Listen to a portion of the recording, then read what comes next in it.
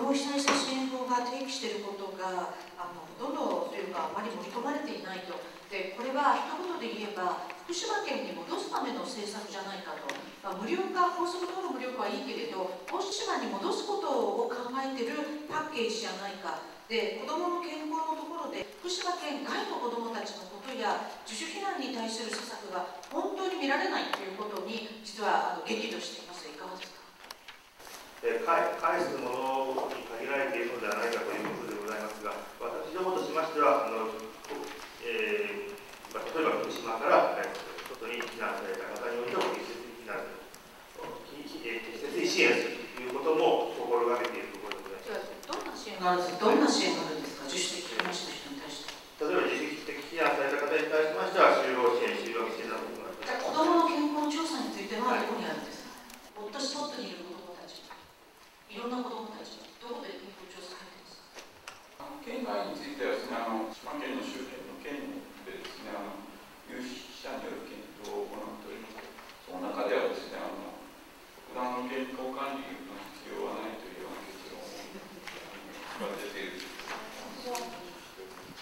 認識をどうして法の趣旨から変えてしまったのか、はい、いうことですよ。私たちが立っているその自己決定権でありその予防原理に即してこれは影響がないなどということを決めつけるのではなくてそしてあの ICRP が言っているあの勧告しているように放射能を恐れる権利恐怖する権利ということを含めて認めるという法律の趣旨をなぜこのように変えてしまったのか誰が変えてしまったのかということをまず1点目に聞きをしたいで2点目に大臣発言。これは大臣発言はそのままあの読んでいいのかそのここに書かれている通りの発言趣旨ということでよろしいのか。これは大臣個人の見解であってあの政府の見解ではないのか。そこを明快にお答えをいただきたい大臣の発言の趣旨でございますが、えーまあ、正直なかなか一定の基準というものが決めがたいということで、えー、そこのところは検討に時間がかかっているというところでございますが、それ以外の施策の基本的な方向性でありますとか、え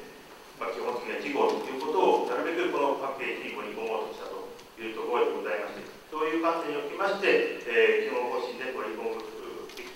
えー、現時点のものをこのパッケージの中に盛り込んだという。ちょっと待って、支援法の目的、趣旨をしっかり読み込んでというこの発言はその通りなんですね。はい、あの子ども法の趣旨をしっかり受け止めまして、えー、セットしてあの基本方針まだ至っておりませんがその前にあのこのパッケージという形で実いわゆる実質なりの方々それは間違いないねはい今の発言は間違いないねはい基本方針私たちは読解能力がない大臣として問責をそれ今のあなたの発言においてあのやるかもしれない。はい。あとねあの子ども被災者支援法による必要な施策についてはこの対策で盛り込んだと考えておりますとしかし今段階も意見聴取会もやってなくての盛り込んだっていう発言はひどいじゃないですか？だって盛り込む前に聞くべきでしょだって盛り込むことをやってないんだですから基本方針を発表するときには必ず今盛り込めて大臣の発言で子ども被災者支援法による必要な施策についてはこの対策で盛り込んだと考えておりますって言ってることですよ。現時点で政府として盛り込んだと考えている。だって盛り込む前に人の話を聞く必要があるでしょうですからそれはこれから被災者たちが本当に求めている支援こそが大事だということが法律に書いてあってだからそれを前提条件にしているのになぜそれをすっ飛ばしてあのパッケージができるわけ？ですですからこれは基本方針でありませんので基本方針を作るときは必ずパッケージ、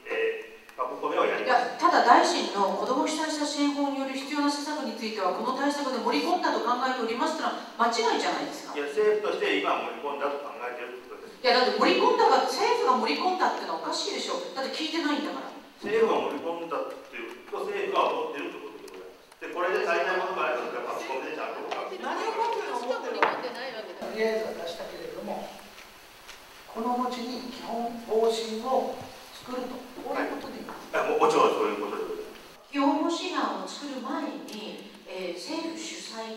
さまざまな意見聴取会をやってくださいよ。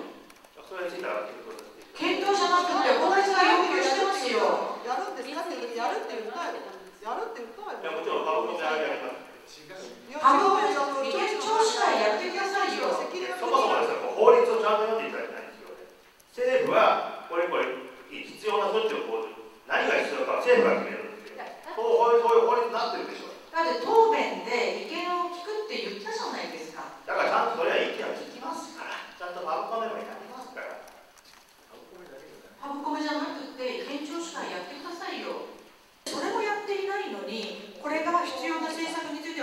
だっていう。のは言い過ぎですよ、大臣。いや、それは現時点で政府はそう思っているものを盛り込んだというもの。で、それで、政府として現時点でこれが必要だというものを盛り込んだというもの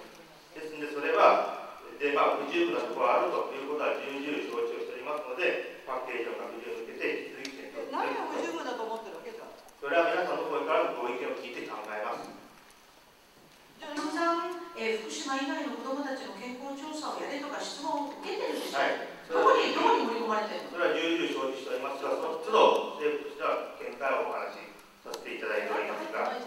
それは、もうあの現時点で政府としてやっているものは盛り込んでおりますが、じゃあ、現時点で政府がやっているものと子ども被災写真法が要求しているものにはズレがあるでしょう。子ども政府が今やってることが不十分だから子ども被災写真法ができたんでしょう。この間いろんな国会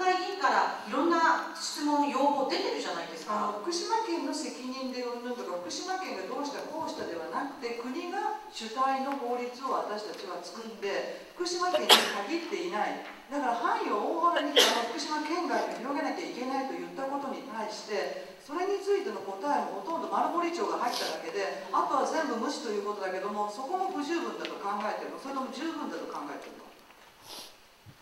えーとあの私ども自体が現在行われているこのパッケージに盛り込んだ施策で必要なものは行っていると考えております。ただ先ほどあのお話にもありました通り、まだこの被災者の方が求めているものに足りないということが言われていることは十分承知をしておりますので、えーその点も踏まえつつ、今後さらなるパッケージの拡充に向けて検討してまいりたいという合法じゃないんですよここにも何人もの提出